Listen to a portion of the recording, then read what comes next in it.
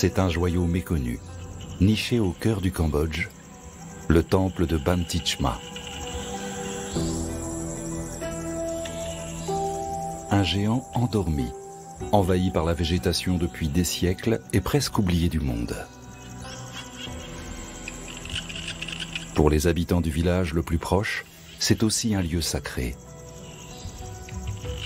800 ans de mousson, de pillage et de guerre l'ont mis à rude épreuve. Pourtant, sa magie demeure intacte.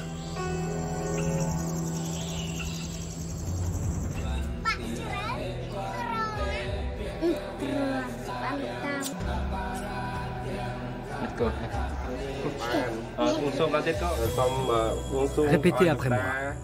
Que l'esprit du temple nous protège.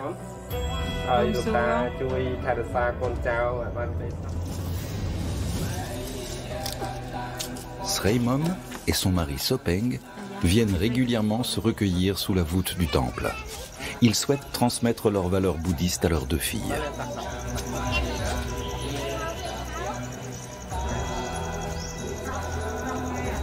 Le couple est très actif au sein du conseil du village. Il s'engage en faveur de la restauration du temple et de la préservation des traditions khmères ancestrales. Sreimom est né à Bantichma. Je n'étais qu'une enfant quand je suis venue ici pour la première fois avec mes amis. J'ai trouvé ça magnifique. Mais à l'époque, l'endroit était complètement recouvert par la végétation et je ne me rendais pas compte de l'importance de ce lieu. J'étais simplement contente d'être là avec mes amis.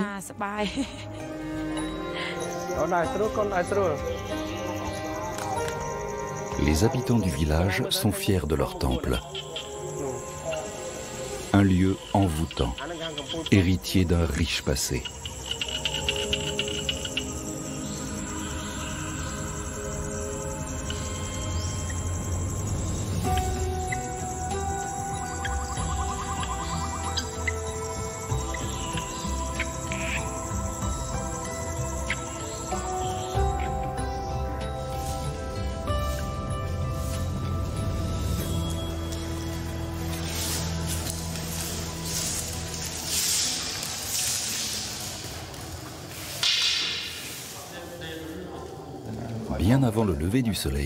Le monastère bouddhiste de Bantichma s'éveille pour la première prière de la journée.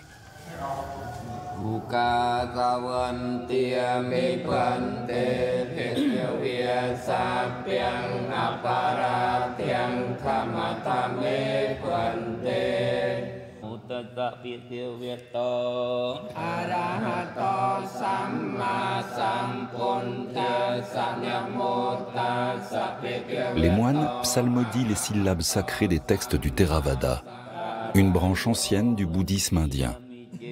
Ce mantra méditatif doit préserver leur esprit de toute distraction.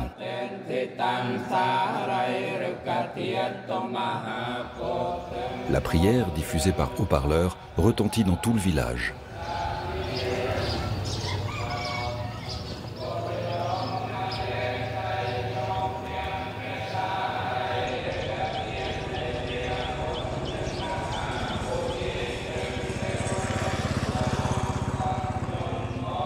La commune compte quelques milliers d'habitants.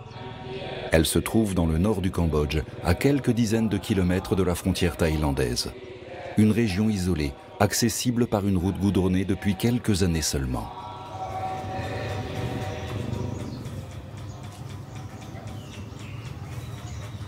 Sreimom et Sopeng ont aménagé avec amour leur maison en bois traditionnel.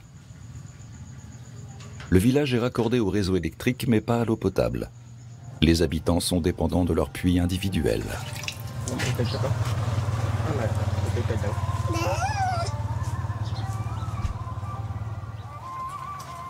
Dans son jardin, le couple fait pousser des noix de coco, des melons d'hiver ou encore des herbes aromatiques. Les grands-parents ne sont jamais très loin pour donner un coup de main.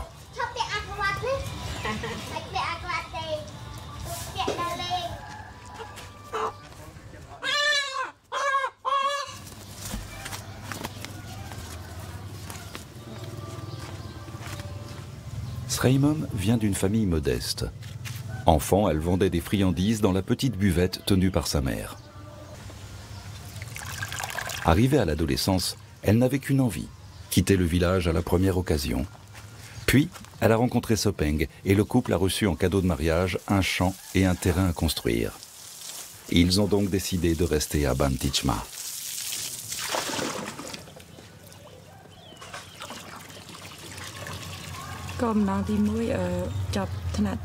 Au départ, j'avais l'intention de faire des études de littérature anglaise, dans l'espoir de trouver du travail.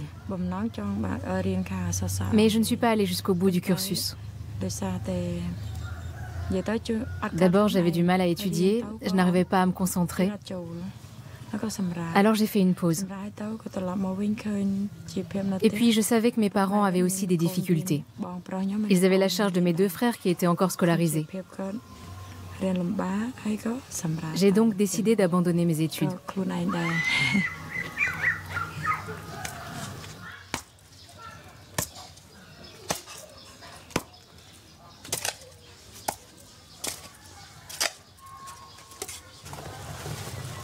Les plumes de poule font un très bon engrais naturel. Sopeng adore le jardinage, mais ces cultures constituent aussi la première source de revenus de son foyer. Depuis quelque temps, il est aussi guide touristique pour les rares visiteurs qui s'aventurent jusqu'à Bantichma.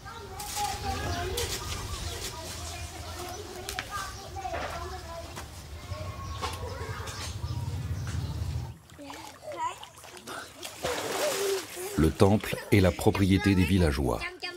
Ils ne veulent pas qu'il devienne une véritable attraction touristique, comme le célèbre sanctuaire d'Angkor Wat.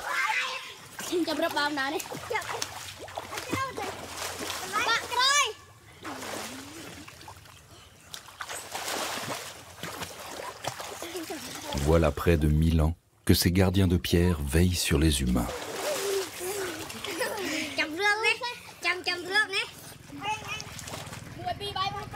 quatre ponts enjambent les douves et mènent à l'enceinte sacrée. À gauche trônent les dieux, à droite les démons. Selon une règle immémoriale, il convient de rester au milieu du chemin, à égale distance du bien et du mal, pour assurer l'équilibre de l'âme.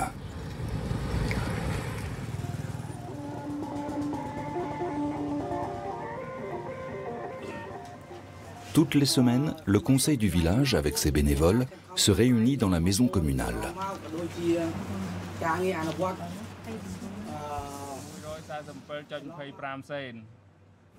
À l'ordre du jour, les travaux de restauration du temple, l'organisation de cours d'anglais pour les enfants, ou encore l'hébergement des touristes auprès des familles disposant d'une chambre libre.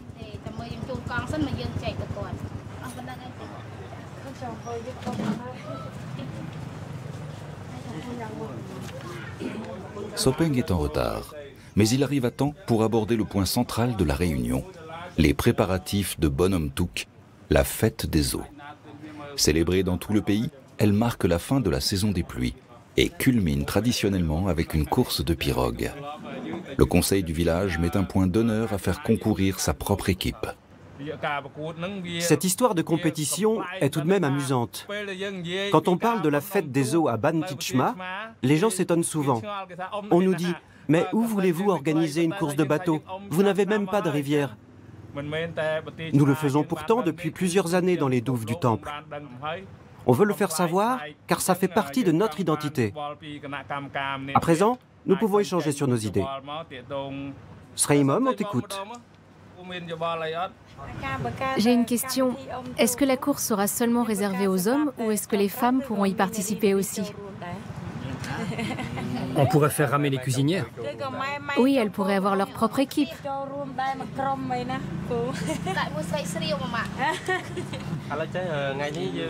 On va déjà élire le comité d'organisation de la course.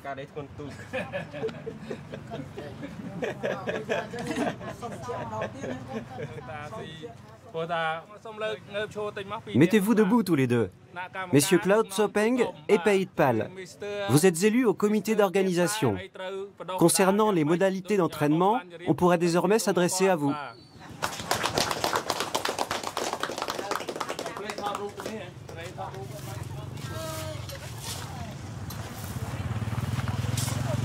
Le village se refait une beauté en perspective de la grande fête qui aura lieu dans trois semaines. C'est l'occasion de réparer l'unique route goudronnée et de désherber les douves. Les nénuphars ont proliféré pendant la saison humide. Il est important de les retirer du parcours avant la reprise des entraînements.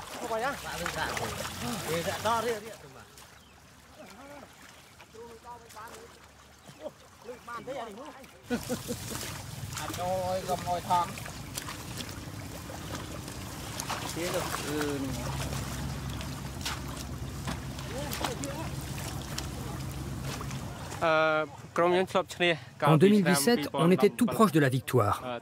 On a fini troisième. Cette année, j'espère que notre équipe va remporter la course.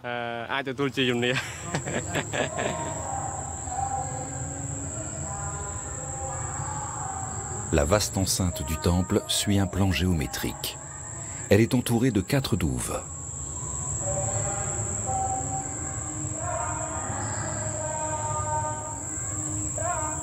Au XIIe siècle, Bantichma était l'un des cinq grands temples du puissant royaume Khmer.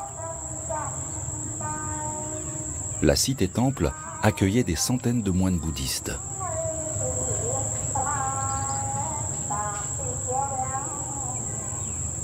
On y trouvait une bibliothèque, des salles de méditation et un centre de soins. Dans un petit sanctuaire brûlait une flamme sacrée censée ne jamais s'éteindre.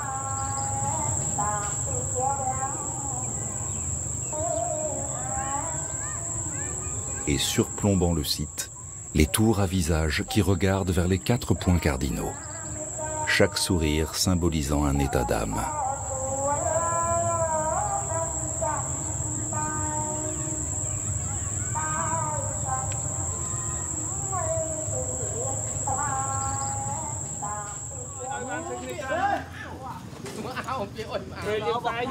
C'est une journée particulière, celle du réveil des pirogues. Les embarcations ont été remisées plusieurs mois à l'abri. Après ce long sommeil, comme on dit ici, il est temps de les réveiller en vue de la course.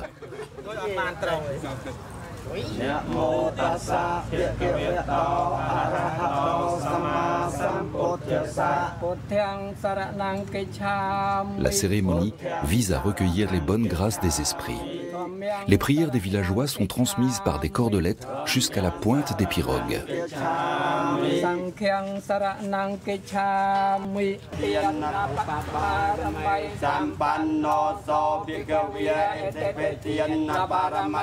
Une bougie allumée symbolise le réveil des bateaux.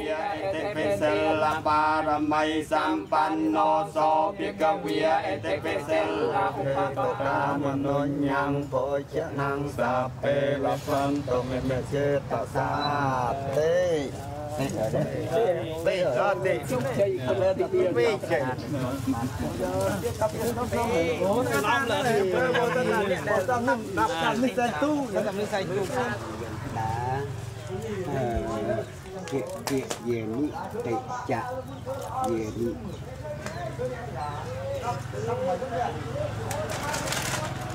Thank you.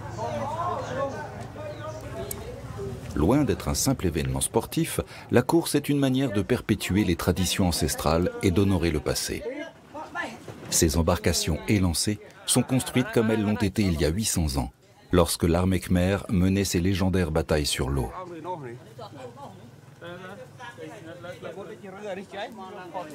Allez-y, encore un peu. C'est bon, ça suffit.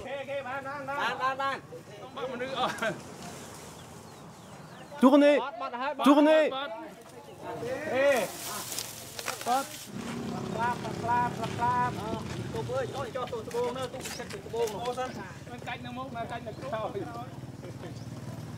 Les hommes vaillants du village sont chargés de transporter l'embarcation jusqu'aux douves, tandis que les aînés vont la remettre en état dans les prochains jours.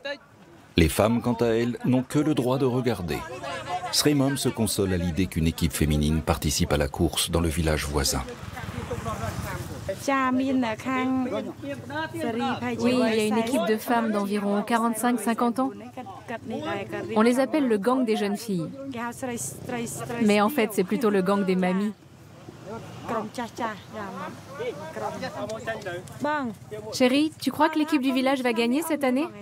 On va tout donner. Vous finirez peut-être par y arriver.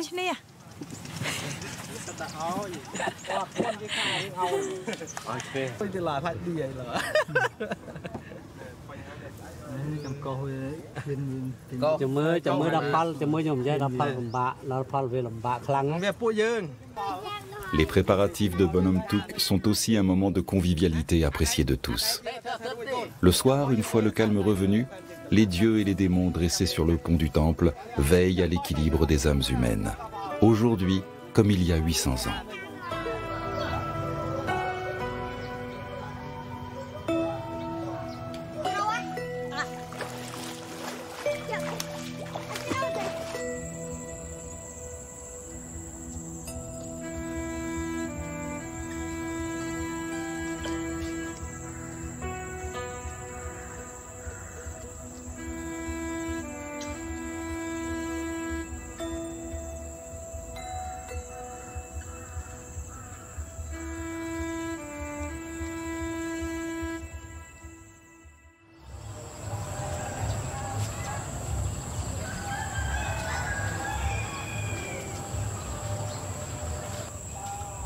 Les habitants qui ne disposent pas d'un puits chez eux doivent aller chercher de l'eau à l'étang, près du temple, ou attendre le camion-citerne qui passe parfois de maison en maison.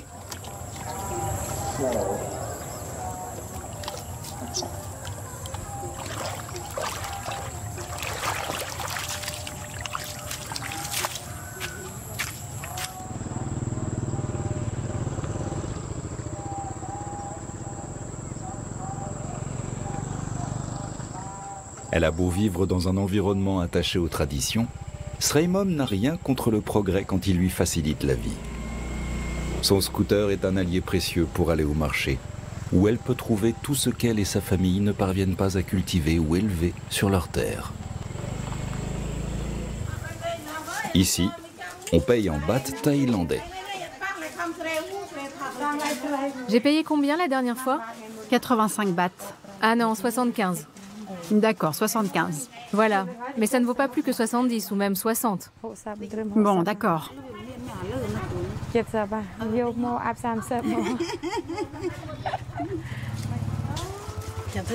Il te faut du poisson? Oui, tu m'en choisis un beau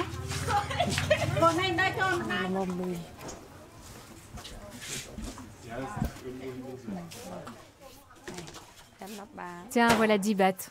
Tu es dur en affaires, toi.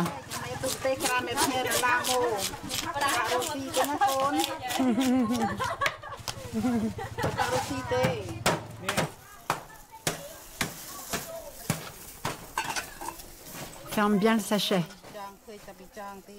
Donne-moi encore un peu de porc. Tu sais que je suis une bonne cliente. Je vais finir par tout te donner gratuitement. Je dépense environ 200 dollars par mois, mais nos revenus sont inférieurs. Je viens en général faire des courses ici. Quand c'est possible, je préfère me rendre en ville. C'est l'occasion pour moi de sortir un peu et de me balader.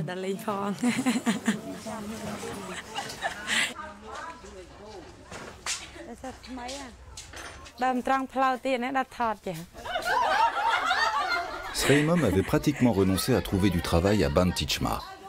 Mais un emploi s'est libéré à l'école du village, alors elle a postulé. Avec un peu de chance, elle va ainsi pouvoir réaliser son rêve de toujours.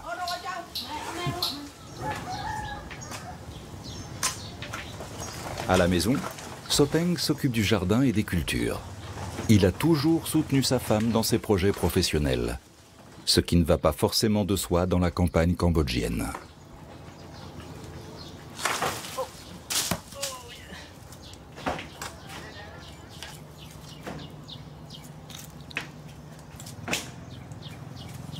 La mère de Sreimom a grandi au temps de la dictature des Khmers rouges. Elle n'a jamais appris à lire ou à écrire. Tout bagage intellectuel était jugé superflu sous le régime communiste. La jeune génération ne connaît cette période que par les livres d'histoire.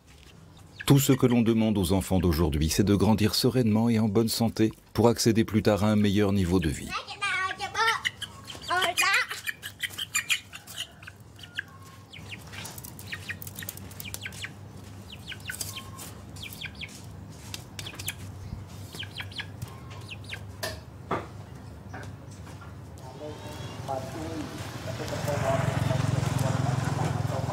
Sopeng et son ami aussi, qui fait partie comme lui du conseil du village, vont inspecter l'état d'avancement de la restauration du temple.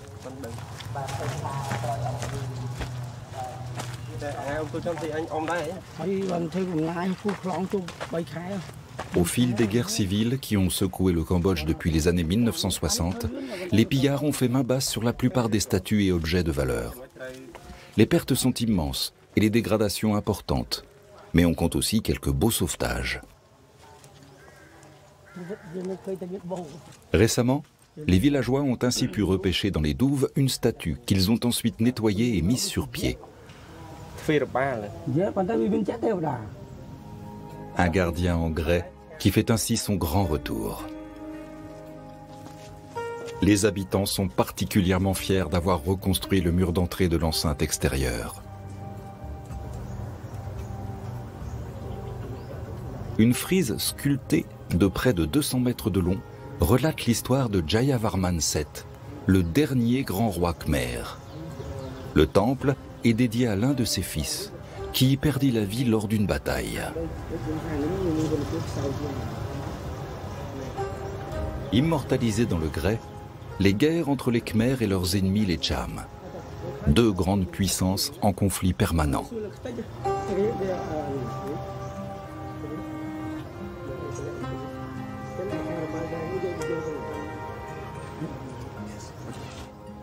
Les bas-reliefs racontent aussi l'origine des courses de pirogues.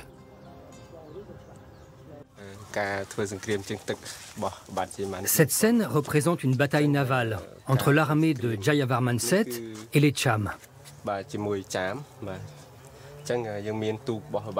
Ça, c'est le bateau du roi. La guerre a duré de 1177 à 1181, mais il a fini par vaincre l'ennemi. C'est pour commémorer cette victoire éclatante qu'il a par la suite organisé la fête des eaux, avec ses courses de pirogues. L'objectif était aussi de repérer les meilleurs rameurs, un atout précieux pour la marine. De nos jours, les courses sont un simple divertissement. Elles ne servent plus à recruter des marins.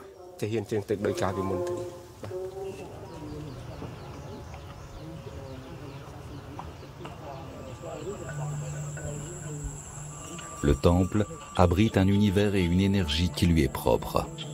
Apaisé, spirituel et mystique tout à la fois. Sopeng et Ma aussi le ressentent à chacune de leurs visites.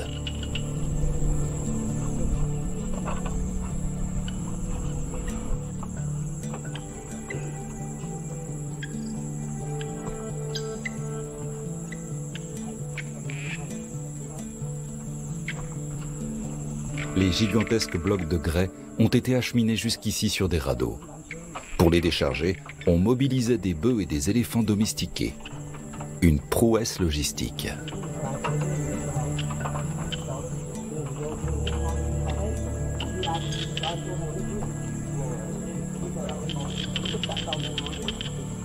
Lorsque Jayavarman VII fait bâtir ce temple au XIIe siècle, il le conçoit comme un second rayonnement de son pouvoir après Angkor. Aujourd'hui, l'endroit a le charme des mondes engloutis. C'est ce qui séduit les visiteurs.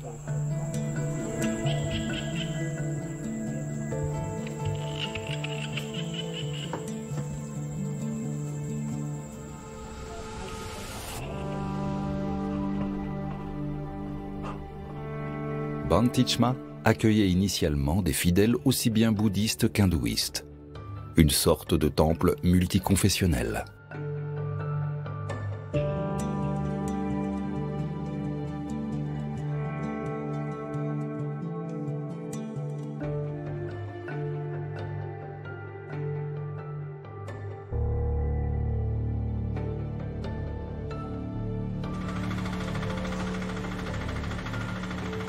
À l'arrière, les restaurateurs sont au travail. Il faudra encore plusieurs décennies pour reconstituer une partie de ce puzzle géant. C'est à partir de milliers de fragments éparpillés sur le site que les murs de l'enceinte sont peu à peu assemblés. Des archéologues, aidés de spécialistes de la civilisation khmer, ont élaboré des modèles informatiques pour en faciliter le processus. Ils ont aussi formé des riziculteurs locaux à la maçonnerie. L'ajustement des blocs de grès au millimètre près est un travail qui demande une grande précision. Ce chantier fait la fierté du peuple khmer. Dans le passé, les travaux de restauration des temples étaient réalisés uniquement par des étrangers. Maintenant, nous avons la main-d'œuvre compétente pour restaurer les temples que nos ancêtres nous ont laissés. Et quand nos compatriotes reviennent, ils sont surpris de voir que la reconstruction avance vite. Ils ne se doutaient pas que nous, les Cambodgiens, nous en étions tout simplement capables. L'objectif n'est pas de reconstituer le temple dans son intégralité. Il s'agit avant tout d'assurer la conservation des précieux bas-reliefs et d'empêcher que la structure ne se dégrade davantage.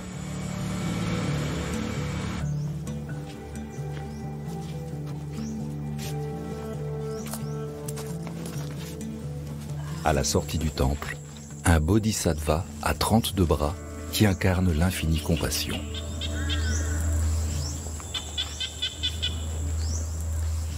Le temple est mon lieu de travail.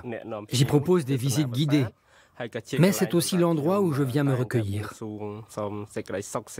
Je prie alors pour le bien-être et le bonheur de ma famille, de mon pays et de mes amis.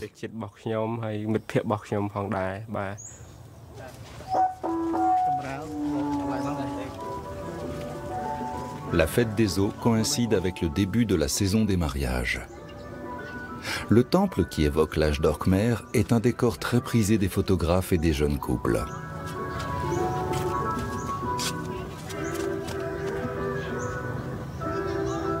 À l'échelle régionale, Ban Tichma est redevenu un centre spirituel pour le pays, mais aussi un lieu incontournable de la vie en société. Un sourire. Allez, souriez. Encore une fois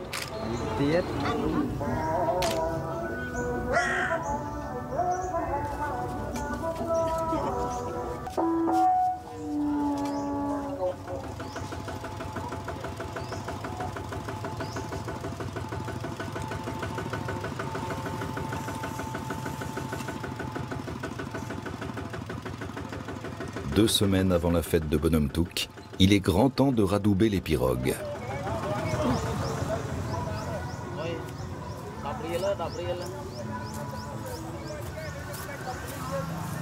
Viens voir. Chef, je peux gratter ici? Non, pas besoin. Et là? Comme ça? C'est abîmé à cet endroit. Et là aussi.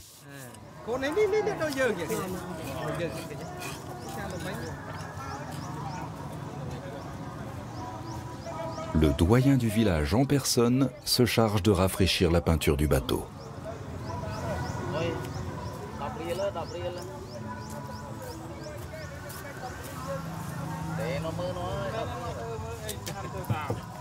Dans les semaines qui précèdent la fête, je retape les pirogues pour que les jeunes puissent s'amuser. Nous ne sommes que deux à restaurer Colmat Éléphante, moi et un autre ancien.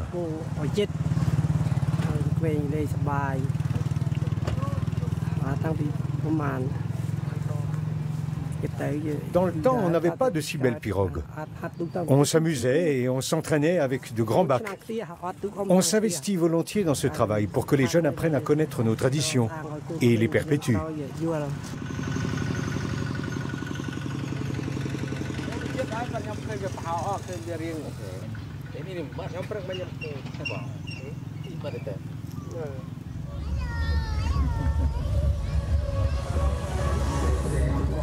Autre signe annonciateur de Bonhomme Touk, la fête foraine a pris ses quartiers à Bantichma.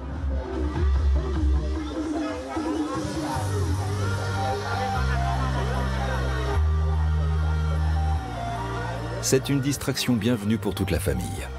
Manège et néon scellent officiellement l'entrée dans la modernité d'une commune qui n'avait pas l'électricité il y a encore quelques années.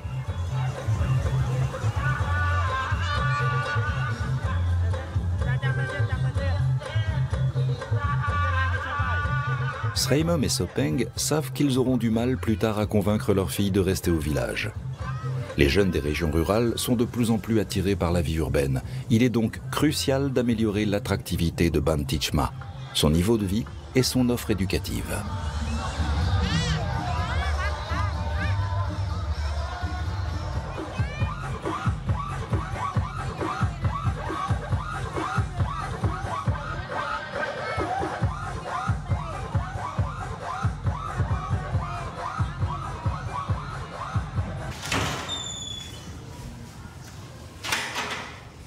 Sreimom a décroché le poste d'enseignante à l'école du village. Juste un mi-temps en classe de maternelle, mais peu importe. Elle se trouve enfin là où elle a toujours voulu être.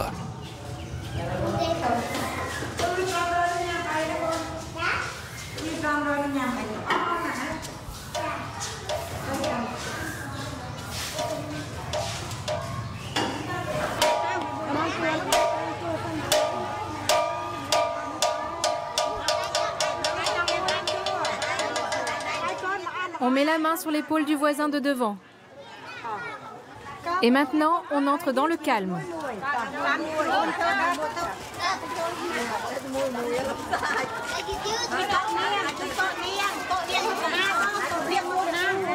C'est son deuxième jour de travail. Tous cherchent leur marque, l'enseignante comme les petits. Les élèves doivent s'habituer à la routine scolaire d'ici leur entrée au CP l'an prochain.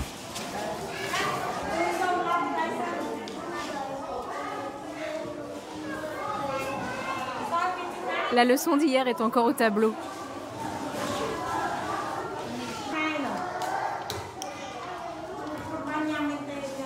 L'instruction est obligatoire au Cambodge. Mais les familles modestes n'ont pas toujours les moyens d'acheter l'uniforme scolaire imposé. Elles préfèrent réquisitionner leurs enfants pour les travaux des champs. À Bantichma, la collectivité veille à ce que tous les élèves passent au moins par l'école primaire.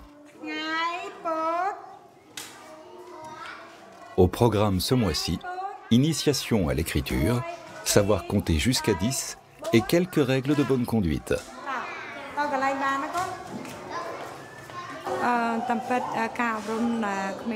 C'est important que les enfants reçoivent une instruction, surtout à la campagne. Les tout petits ne savent pas saluer poliment ou prendre congé. C'est mon rôle en tant qu'institutrice de leur apprendre ces bases. Et puis ça fait plaisir aux parents de voir leurs enfants rentrer chez eux en maîtrisant les formules de politesse. Et travailler, ça veut dire contribuer au revenu de ma famille. C'est important pour moi.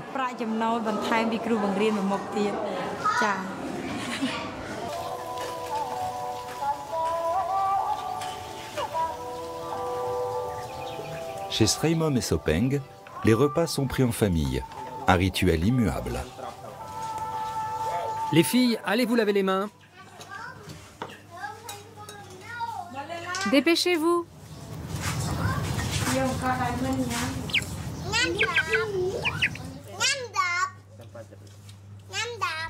Au menu, de l'amok de poisson, un plat très populaire au Cambodge. Le poisson d'eau douce pêché dans l'étang du village est agrémenté de lait de coco, de sucre de palme, de galanga et de feuilles de kaffir. Du riz est servi en accompagnement comme avec tous les plats chauds. Et une soupe de melon d'hiver légèrement sucrée fait le bonheur des enfants. La plupart des ingrédients proviennent du jardin.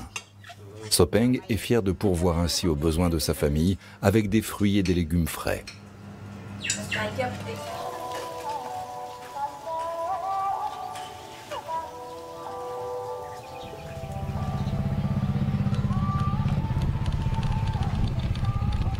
Aujourd'hui, le jeune homme doit encore aller travailler au champ. Son sac d'engrais tient tout juste à l'arrière de sa mobilette.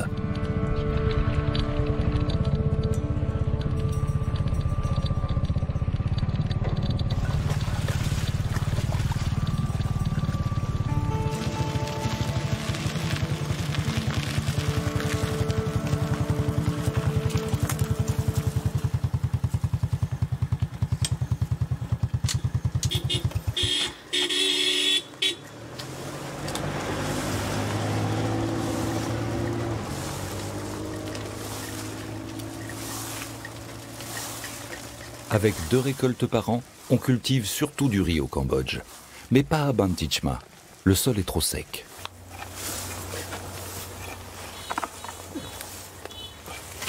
Sopeng a donc préféré miser sur la culture du manioc, des tubercules nourrissants qui poussent vite moyennant un peu d'engrais. Une grande partie de sa récolte part en Thaïlande où elle est transformée en farine.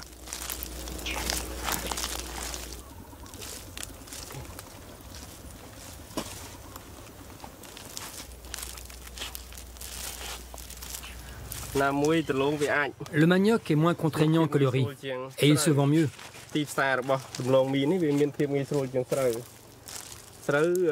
Les grossistes en riz font pression sur les prix.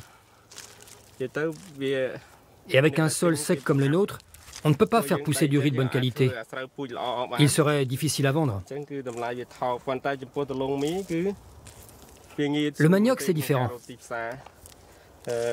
Les débouchés sont plus faciles à trouver, quelle que soit la taille et la qualité des tubercules.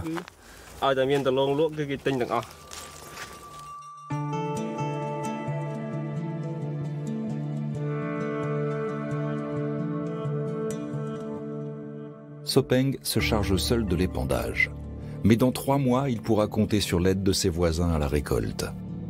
S'entraider se fait tout naturellement ici au village. Sopeng doit encore passer chez M. Meang, son voisin. Bonjour, comment allez-vous? Bien, merci. Je viens vous aider pour votre sac de riz. Tu tombes bien, il doit partir à la riserie. Tu vas y arriver? Je vais le caler sur l'épaule. Il est sacrément lourd. Pas de problème. Ça va? Vous pouvez tenir vos bêtes?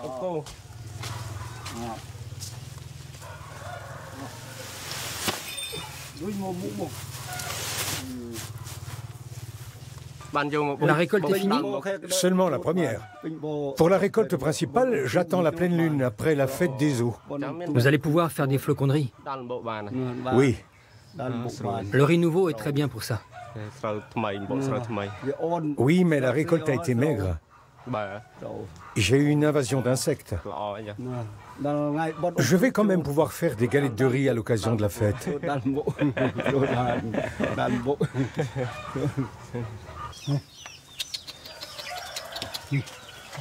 Monsieur Meang est l'un des derniers villageois à circuler sur une charrette tirée par des bœufs.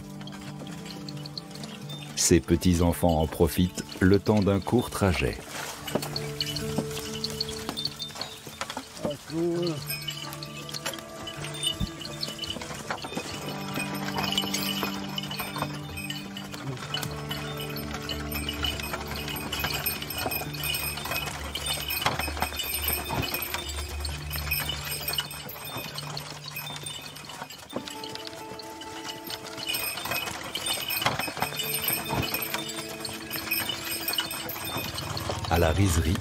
Monsieur Meang va revendre son sac de 100 kilos à un intermédiaire pour une trentaine d'euros. Ce n'est pas énorme, mais comme il le dit, les bœufs ne consomment pas d'essence et ils peuvent se nourrir des résidus de la récolte de riz.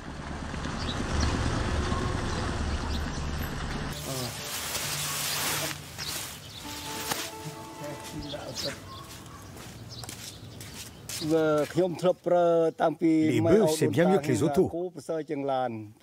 On a tout le temps des accidents avec une voiture, on risque une collision. Je n'ai jamais eu un seul accident de bœuf. Et si on s'occupe bien d'eux, on peut les revendre cher. Un bœuf vaut presque autant qu'un taxi. On m'a déjà proposé d'en échanger un contre un taxi. Mais pas question que je m'en sépare.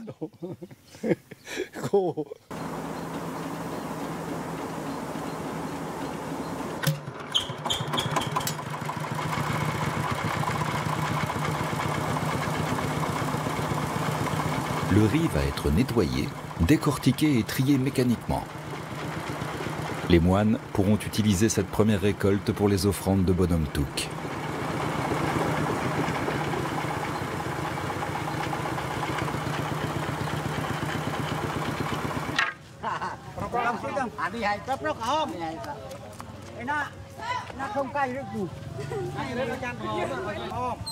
À J-3 avant la fête, les scouts font une aide d'honneur pour la mise à l'eau des pirogues.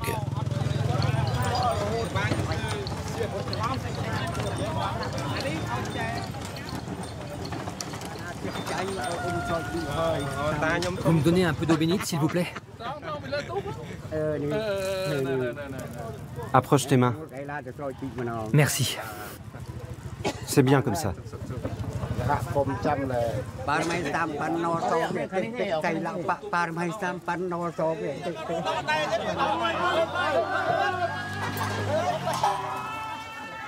C'est l'instant de vérité. La pirogue est-elle bien étanche après ses travaux de rénovation?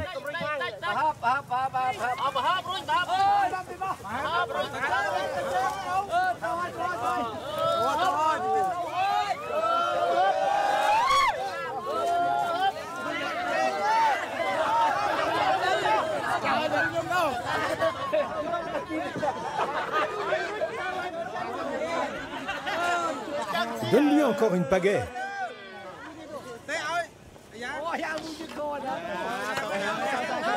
Attention, elle va tomber dans l'eau.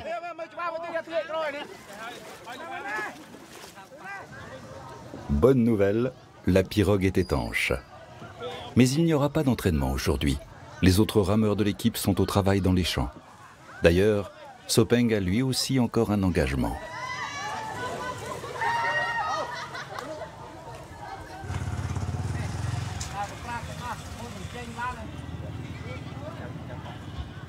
Quelques touristes étrangers sont en visite à Bantichma. Et aujourd'hui, Sopeng doit jouer les guides pour un couple d'Anglais. Il leur montre les bas-reliefs du temple qui représentent des scènes du quotidien dans l'ancien empire khmer. Vous pouvez voir ici comment on vivait à l'époque au palais. Vous avez ici le roi, la reine et Jayavarman VII, qui a eu deux épouses. Pas plus Non, pas plus. C'étaient toutes les deux des femmes de caractère.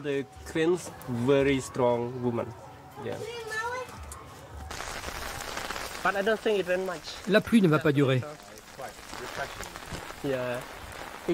On dirait que Dieu veut vous bénir.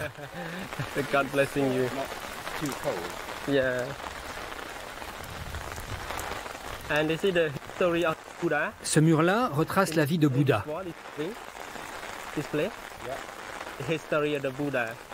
Il voulait échapper au cycle infini des naissances et des renaissances, aux réincarnations. C'est pour cela qu'il est parti en quête de l'éveil. Il a passé six ans dans la forêt avant de le trouver. Une fois éveillé, il a choisi cinq hommes pour en faire ses disciples.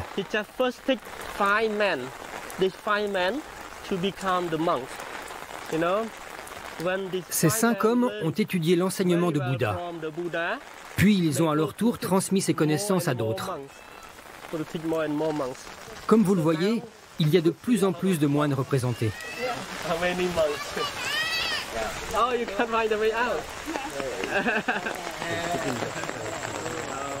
Une simple averse ne suffira pas à doucher l'enthousiasme de Sopeng, qui adore initier les visiteurs étrangers au secret de son temple oublié. Quelques 2000 voyageurs trouvent chaque année le chemin de Bantichma. Et tous tombent sous le charme, même quand la météo fait des siennes.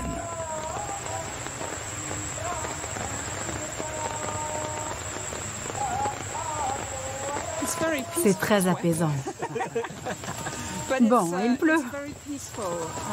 Mais c'est calme. On se sent loin du tourisme de masse. Dans certains temples, comme Angkor Wat, c'est de la folie. Il y a trop de monde. Ici, vous avez le temple pour vous tout seul. Oui, exactement. Je me sens comme Indiana Jones.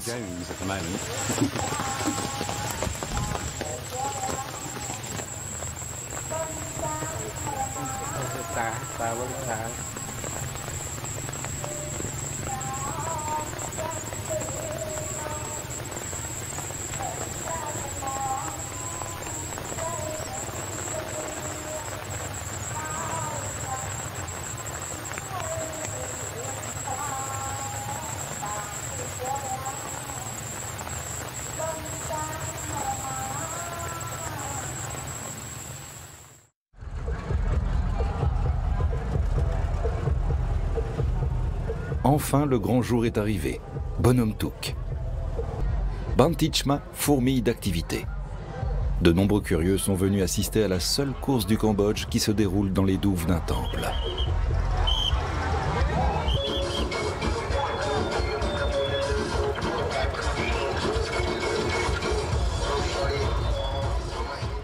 L'équipe de Sopeng est au complet, mais elle n'a pas vraiment eu le temps de s'entraîner.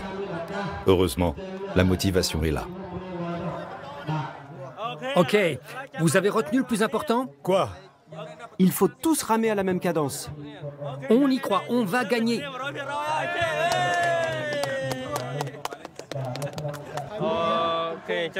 Notre stratégie consiste à placer à l'avant de la pirogue les rameurs les plus vigoureux, les plus endurants, ceux qui ne risquent pas de relâcher leur force. C'est important d'avoir de bons éléments à l'avant et à l'arrière. Ceux qui se trouvent à l'avant donnent le rythme et les autres suivent. Si les premiers relâchent l'effort, les autres finiront par faire pareil et on perdra. Il faut absolument garder la cadence.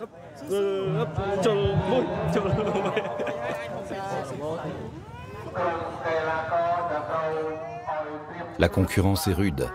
Équipe de lycéens, d'étudiants, même l'armée cambodgienne participe à la course.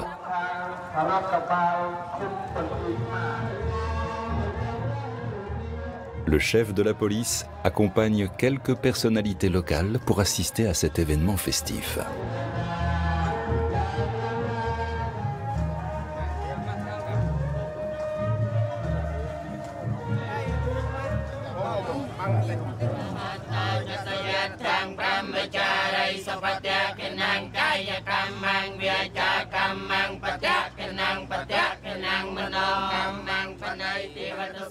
Dernière prière afin que Bouddha veille sur le bon déroulement de la course.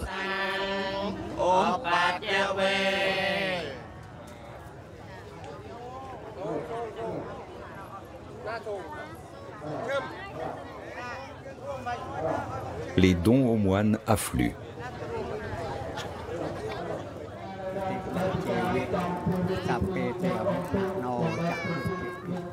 Dès demain, les bateaux seront remis en sommeil au monastère.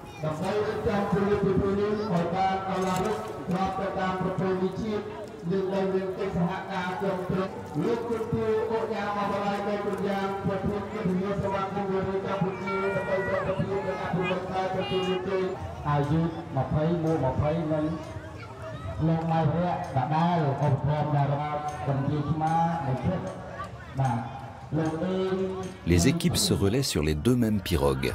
En cas de défaite, c'est l'élimination directe.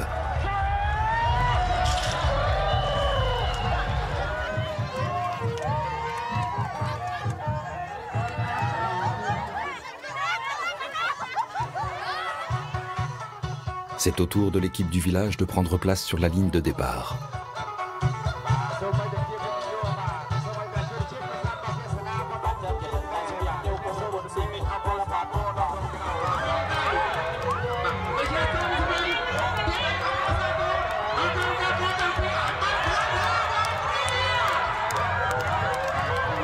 Sreimom est bien sûr présente pour encourager son mari. Vous êtes prêts? 1, 2, 3, partez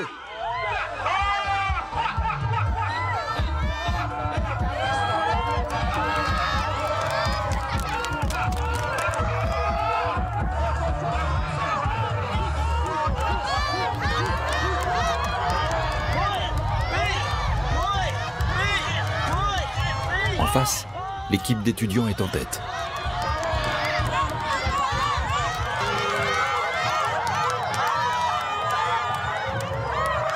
L'équipe du village accélère la cadence.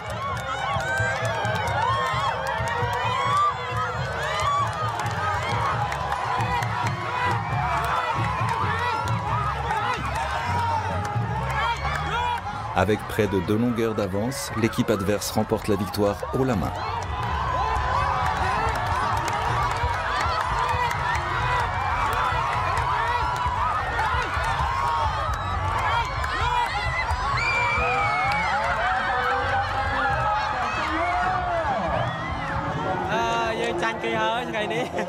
On a perdu aujourd'hui. Mais on s'est bien amusé malgré tout. Ce qui compte, c'est que l'équipe du village ait participé à la course de Bonhomme Touk. Et comme ça, on perpétue une tradition de Bantichma. Bonhomme Touk est un jour de grande fierté pour tout le pays. Nous commémorons la victoire historique remportée par le roi Jaya Varmanset. C'est pourquoi nous sommes fiers d'avoir participé à la course. La victoire ne fait pas tout. C'est important de passer un bon moment.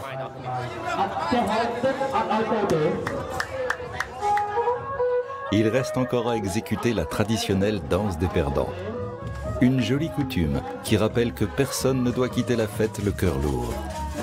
Et qui sait, L'an prochain peut-être, l'équipe du village remportera la course de Bonhomme Touk dans les douves du temple de Bantichma.